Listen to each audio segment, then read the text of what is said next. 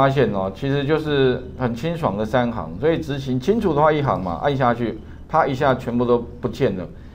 OK，那如果你要把资料再查一遍的话，按下它，那就 OK 了。而且你说老师，那这个执行的时候动作太快哦，有时候我不太了解到底哪一个地方出错。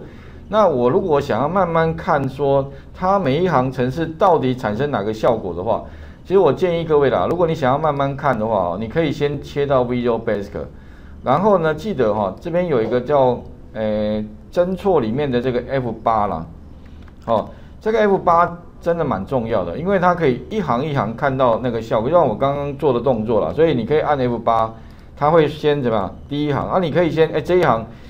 试试看啊，所以它过了这一行之后的话，那你可以看有没有有没有什么变化？哎嘛，这个地方哦，你可以观察一下，它会把这个公式哦放到这个地方来，这边就有了。OK，那你可以再观察一下，游标放在这个储存格里面，看看有没有这个公式。哎，有这个公式的哈，那表示 这个动作是没有错。可是如果说呢，假假如说呢，哎，奇怪，你把公式放进去之后，哎，结果怎么跟？跟跟这个老师做的结果不一样哦，那你可能就是要再看一下这个公式里面哦，比如说这个地方实际上就是一个什么问卷调查的工作表名称哦，所以惊叹号前面一定是工作表名称。那如果假如说它里面得到结果好像是零还是什么，那你可能要检查一下你的这个前面的那个表哦，是不是名称不是叫问卷调查，或者是说你多了一个什么嗯。其他的哈，这个这个不一样的名称就会产生错误了哈。OK，然后向右填满，所以这个储存格向右，所以也就是你把它向右拉到欧蓝的话，那其实写出来哦，哎，就是类似像这样 range B 二啊啊，所以其实有一个比较关键的方法，就是利用它做一个什么方法？Auto fill。那 Auto fill 的话就自动填满。那自动填满有几种方式哈，一个是什么？一个是向右填满的，一个是向下填满。那因为这个是向右填满，所以你后面会加一个参数叫 destination，哦，然后冒号等于的话呢，就跟他讲范。所以哦，它会针对指定的 B 二到 O 二哈，帮你向右，所以填满过来。那后面多一个参数叫 type 了，type 的话叫什么？Excel field default，哎，意思是说预设的。哎，所以如果假设啊，有的时候我习惯会把它试试看。比如说，如果这一行没有的话，哈，会不会影响？哎，如果可以的话，哎，那我就用，我就把它删掉就好了。所以啊，你会发现，如果假设那一行我不不要，对不对？哈，哎，假设它叫多一个叫什么 type，type 就形态哈的参数，然后它用什么 X L field default 的话预设值，哎，用预设，那预设值等于是不是可以不要？啊，不过我不确定的话，我把它删掉之后，按按 F 八试试看，哎，删掉 OK 哎。所以显然怎么样？哎，那个是不用的，因为它预设值，哎，所以如果假设你需要更精简的话，那其实是可以把它删掉的。其实跟各位讲了，另外还有一个地方也可以删掉，destination 冒号等于，这也可以删掉。为什么？因为它预它那个参数其实本来就一直放这个啦，所以其实参数名称不要，可不可以？其实也可以啊。如果我们不确定的话，可以把程式再拉上去，再跑跑看，哎，没有问题，OK。那你说这个是不是也可以再精简？哎，其实啊，冒号等于可不可以拿？可以啦，有没有？然后这个也拿掉了。那这样的话呢，按 F 八，哎，向下填嘛，也 OK。所以你会发现了哦，如果这样改下来的话，其实很多程式基本上是都可以不需要写的。也就是说，以后哦，如果假设你不用录制了，你要自己写，其实也是 OK 的啊，有没有？应该不难理解吧？所以呢，如果以后自己写了，你就是讲。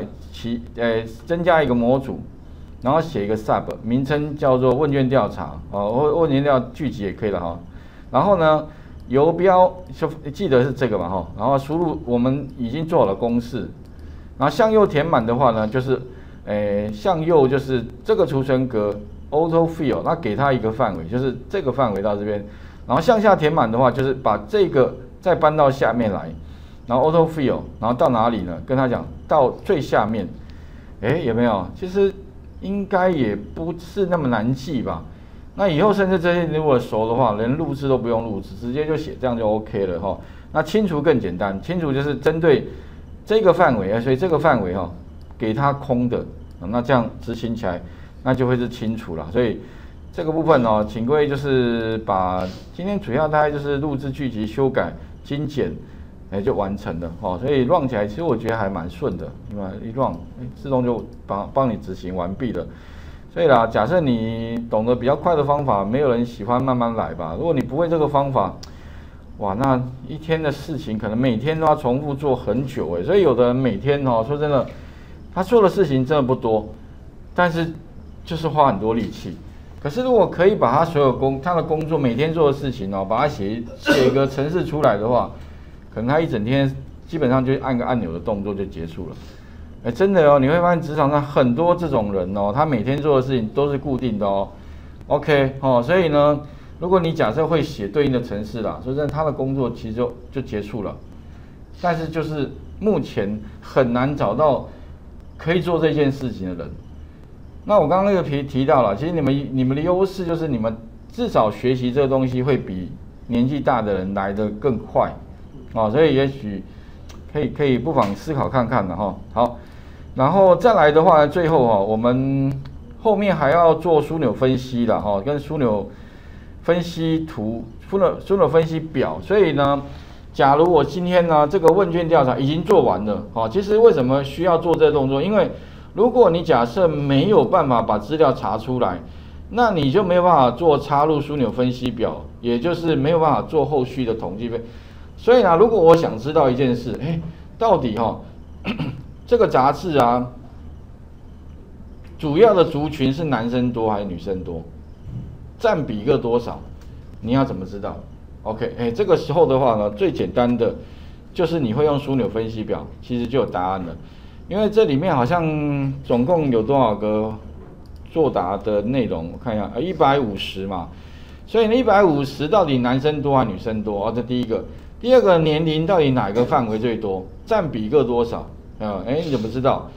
第三个呢？教育程度哪个最多？还有职业哪个最多？哦，收入哪哪这诸如此类啊。所以如果假设哦，我希望针对这几个栏位哦，诶，帮我得到呢占比的多寡，并且绘制出那个占比的话，最好是什么？最好类似像这种圆形图好了哦，可以看到了。不过再看。如果以占比来看的话呢，当然男生好像居多了。OK，如果有这资料的话，马上可以得到答案的哈。所以男生好像百分之五十九吧哈，那女生四十一。那其他的话，年龄部分的话，这占比最多好像是哪一块最多？这一块，这个十六到三十是最多的。那怎么怎么绘制的？当然你如果，呃，绘图的话呢，比例部分当然圆形图比较容易啊看得出那个。这个哪个哪个比例多？可是如果你看数量的话，哈，你可以用直条图。可是看好像数量这样子，以这个资料来看，哦，好像似乎用圆形图会比较能够得到我们想要呈现的那个样子了，哈。啊，其他当然还有职业啦，或者教教育这个等等的哈。好，那后面的话呢，甚至我如果我想要知道，哈，第一个到底这个是第一个刚刚讲的占比，哈。第二个的话，哪一类的设计杂志最受欢迎？哎，那我怎么知道最受欢迎的杂志有没有这个栏位啊？哎，最受欢迎，哎，最受欢迎应该是最常买的啦，有没有？最最常购买哪一类杂志？所以如果想知道说，哎，这里面哪一个类的杂志哦，哎，比例最高的话，哎，那一样哦，可以用枢纽分析表，OK，然后再来的话。诶，购买设计类杂志时，主要考量因素，诶，为什么会买哪一类的？那当然这边有个栏位啦，这边有个叫购买时主要的考量因素哈，包含就是说的哈，像什么本期的专题报道啦，价格实惠，名人推荐，页数多寡等等的，诶，那哪个多哪个少？你不知道的话，其实也可以用枢纽分析表，可以很快的把那个结果给统计分析出来哦。那最后一个是最难，因为它这是跨。刚刚都是单一个栏位的资料呈现，可是如果说你希望知道什么，哎，如果不同年龄层他会购买的设计类杂志哦，哎，到底有什么差异的话，啊，这个就有需要两个栏位哦。第一个栏位是年龄，哎，年龄在年龄在这里。第二个的话呢，就是，哎，它这个什么呢？第二个的话呢，是根据什么设计类杂志的种类，哎，所以哦，哪些年龄？会购买什么年龄跟什么设计类杂志哦，需要跨两个栏位的统计分析。啊所以哦，枢纽分析表怎么跨两个？甚至啦，如果说我希望还要加第三个条件，哎，比如说除了年龄、会买什么杂志之外哦，我还希望说呢，哎，知道说他是什么性别的话，哎，那我是不是可以再加一个条件？也就是透过这种统计分析，你至少可以比较清楚知道说，哦，哎，我们产品里面哪些东西是哪些人会买的最多的？那这样的话，你针对不同的年龄。去行销的话，哎，相对会比较正确啦。比如你卖卖那化妆品，你总不可能找一个男生，现在好买不呃，当然女生会比较多啦，男生也不是说不爱漂亮，可是应该目前会化妆的男生应该是有了。OK，我现在我发现现在很多男生还会化妆，还要保养。OK，但是基本上呢，一定是相对于女生会来的少。可是女生到底哪个年龄层哎使用化妆品最多？OK，那你大家如果知道的话。再针对你要统计分析的，就会比较简单。所以哦，请各位哈，也许可以先看一下云端白板这边，总共有四个问题的哈。因为今天时间可能没有那么充裕，所以这个可能自己再玩玩看吧。比如说针对性别好了，哎，性别你可以先插入枢纽分析表，那么它会先把范围选起来按确定。然后性别的话，你可以先把性别拖到列，性别再拖到值，它就统计出来了。那你可以利用这个呢做。枢纽分析图，然后画一个呃圆形图出来，哦，然后并且把这个圆形图放在这个位置上面，啊，并且把男生比较多的这一块哦，把它往外拉一下，OK，那这样的话呢，哎，我们就可以得到性别统计图了。那其他都一样，哦，所以这个的话，这个也许就是把它改一下，叫性别好了哈，性别，或者叫性别统计哈。哎，那你可以马上可以知道哦，原来我们的杂志哦，男生还是居多。那你当然还可以再切回来，切回到问卷调查刮胡二，那年龄的部分一样，插入枢纽分析表，一样按确定，好，然后把年龄拖到列，年龄拖到值，哎，那这样就有了。哎，你会发现哪个多啊？这样看好像是十六到三十了，不过看数字有时候不直觉，所以怎么办呢？你可以在枢纽分析图。里面的圆形图，好，然后按个确定，那你一样可以把这个结果给呈现出来，有没有？那如果要凸显说年龄最多那个区块，你可以再去点这个吧，应该是十六到三十这边，然后把它往外拉就可以了。哎，不过你可能想说，老师，那我希望哦，那个图说不要说看这个，在这边看好像有点不太清楚，可不可以直接在上面显示那个文字啊？如果你要直接显示文字，可以按右键哈。这边有一叫什么新增资料标签，有一叫新增资料图说文字，啊，你把它按下去，哎，它这边就出现了。啊，这个时候这个有点多余，你可以把这个叫图例哈，delete 掉就可以了，有没有？哎，这样就很清楚了嘛。所以以后呢，你在呈现资料哦，哎，就会非常的容易哦。所以这个当然后面请各位自己在做后续的，这个叫性别统计嘛哈，那这个叫年龄统计好了哈，年龄。统计，嗯，好了，那今天的 作业哈，基本上就是，诶，请各位把那个什么刚刚的聚集这个完成，然后也试试看做一些简单的统计分析哈，那画面再还给各位试试看哦。